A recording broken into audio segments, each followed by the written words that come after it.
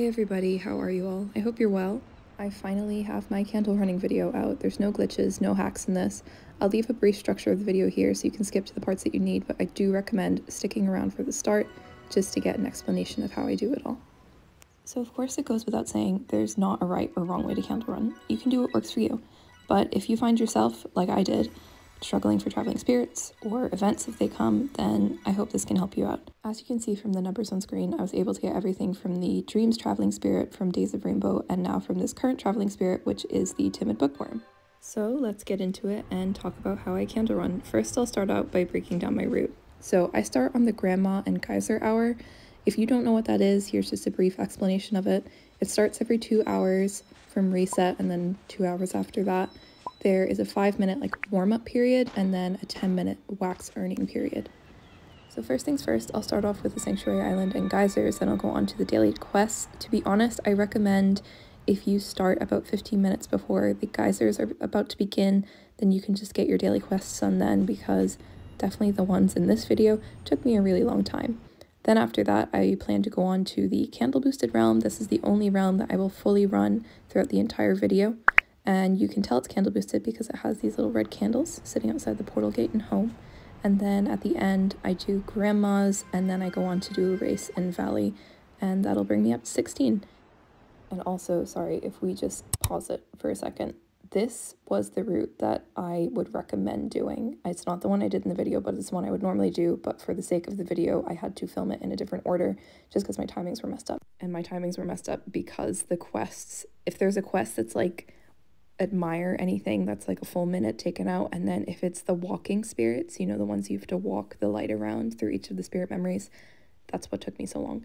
So I'll leave you guys here. I won't be talking too much throughout this video. Just follow the instructions on screen. But if there's any parts that I feel need further explanation, I'll jump in with voiceover. So for now, yeah, enjoy the video, guys.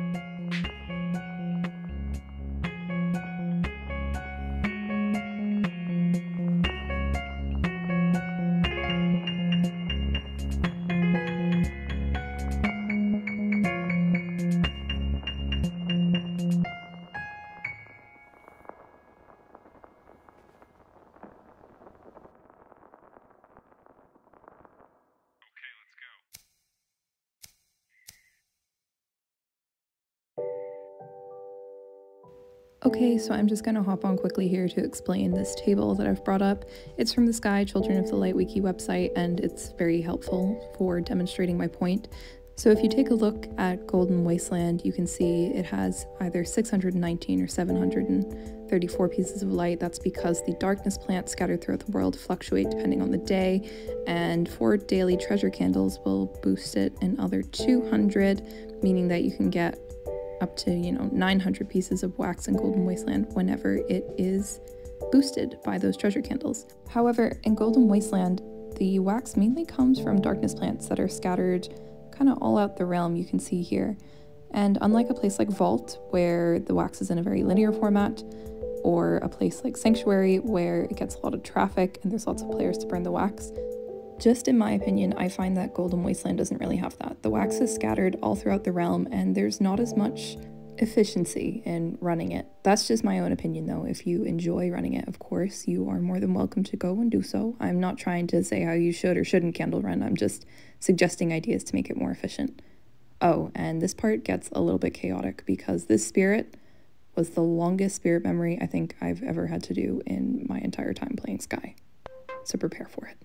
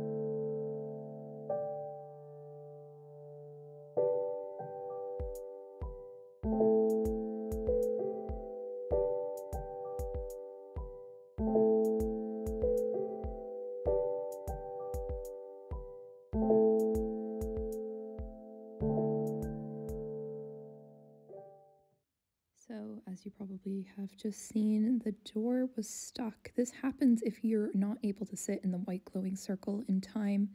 Now, coming back a second time, I'm able to do that. It doesn't always work if you go to home though, because if you try to come back, you can end up in the same server where you're just stuck and the doors aren't opening.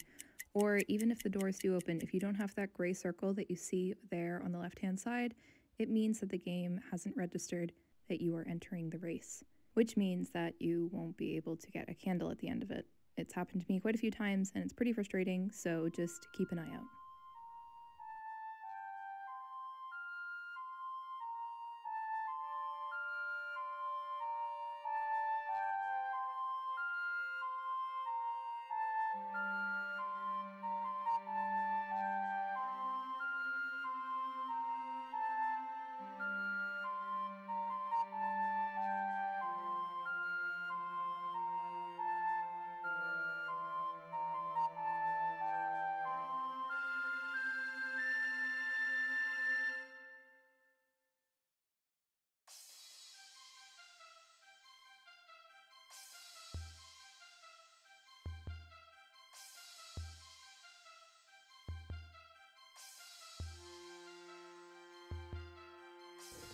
Well, everything kind of went awry on that one, but I still managed to get 20 candles in about an hour. So I hope you enjoyed. I hope it helps you out. Thank you guys so much for watching and sticking around to support the channel. I really appreciate it. See you next time.